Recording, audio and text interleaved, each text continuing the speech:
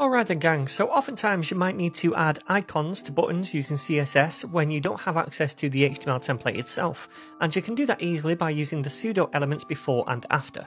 So in the HTML it's just two buttons, and these are the buttons we want to add icons to. Each one has their own class which we can target in the CSS. In the CSS file we import the Google Materials icons library and we add some very basic styles to the buttons to make them purple, give them padding, some margin and a border radius. Alright, so to add the icons in, we can inject some extra content into the buttons using either the before or after pseudo elements.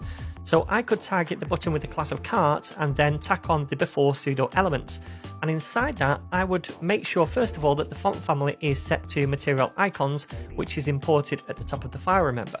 And then add a content property to output some content to the DOM. In our case, that would be the keyword of whatever icon we want to use. So for this button, we'll say add shopping cart. And that's going to inject the shopping cart icon instead of the actual text because we specify the material icons font family.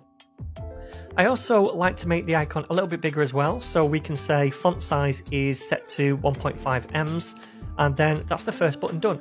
Now I'm going to paste in some CSS now for the second button which does exactly the same thing but this time targets the login button and uses the login keyword for the icon.